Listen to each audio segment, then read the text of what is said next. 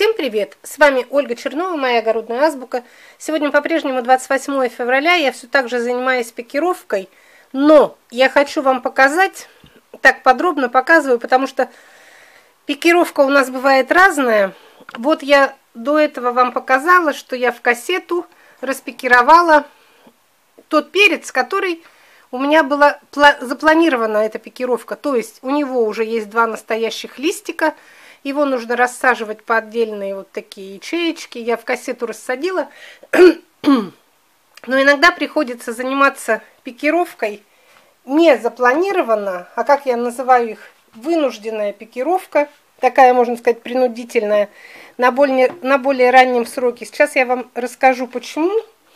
И особенно новичкам это будет интересно, кто, возможно, еще ни разу не выращивал с пикировкой – Некоторые боятся, спрашивают, можно ли в более ранние сроки пикировать, или нужно ждать именно, когда вылезет настоящий лист один или два. Везде же пишут по-разному.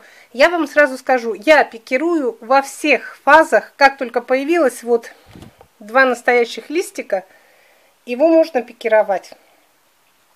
Но это вот у меня пикировка сейчас принудительная, как вынужденная – один раз я в таких ранних сроках пикировала, когда я увидела в лотке два сеянца с черной ножкой.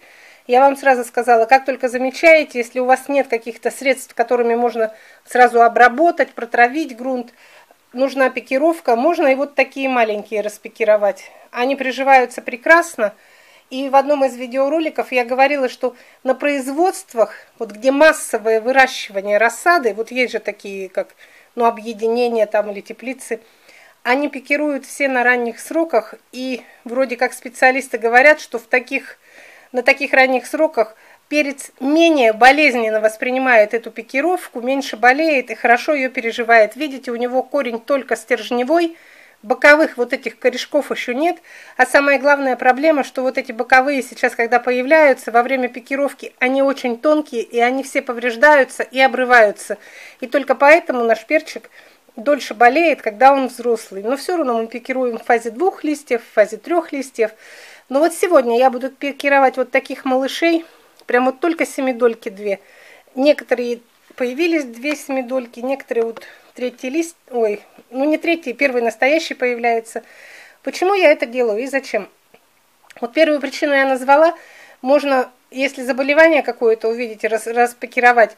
А у меня все та же проблема, которая у нас встречается каждый год. Я сама много раз говорила, не высевайте в один и тот же лоток несколько сортов, потому что вас сможет постигнуть такая неприятность, как разная схожесть семян. Но так как на ранних сроках мы сеем же мало, очень мало, и вот я в один лоток посеяла все семена, и свои, и магазинные.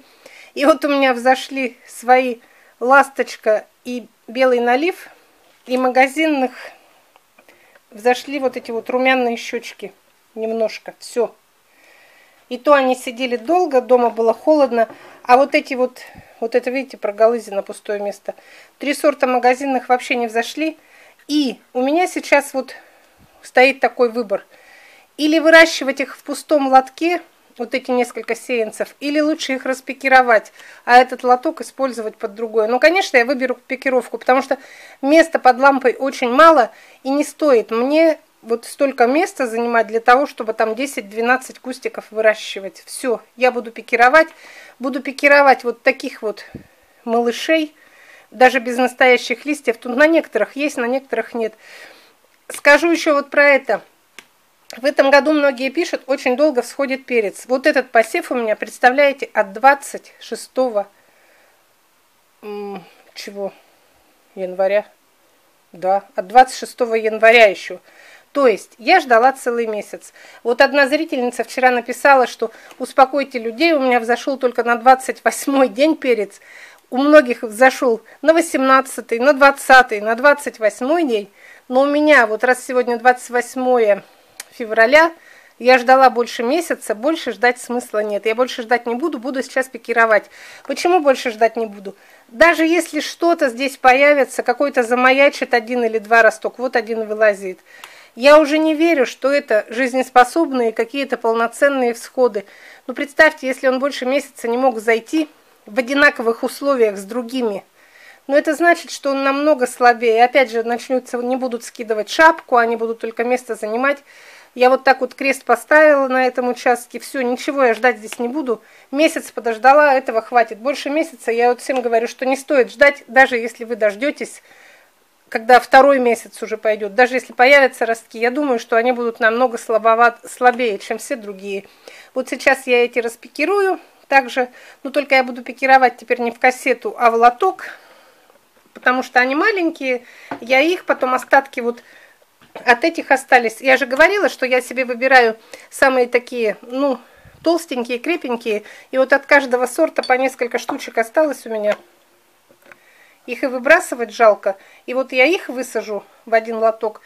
И тех малышей, которые в фазе двух семидолей, они будут все вместе расти. Конечно, вот эти вот сеянцы, они будут... Это как у меня от, отборные я уже, я сделала выбраковку и вот в эту кассету посадила именно отборные. А эти будут на крайнем случае, будут сидеть пока на скамейке запасных. Все, сегодня я вам показала два случая пикировки. Один запланированный в фазе двух семидольных листьев у перца. И один как бы вынужденный или там незапланированный. Это то есть тогда, когда всего две два рядочка взошло, а остальные несколько не взошли. И я, чтобы освободить пустой лоток, я просто их распекирую, и все, а в этот лоток буду что-то другое использовать. До свидания, с вами была Ольга Чернова. Это вот такие небольшие подробности о пикировке перца, потому что многие все-таки выращивают его с пикировкой. Как вы видите, что пикировка, конечно, нужна. Если бы выращивать без пикировки, вот так половина семян, когда не взойдет, лысый лоток – а половина взошло, а если вы сеяли еще редко, предполагая без пикировки, то тогда, конечно, ситуация была бы еще сложнее. Ну ладно, все, до свидания, буду работать дальше.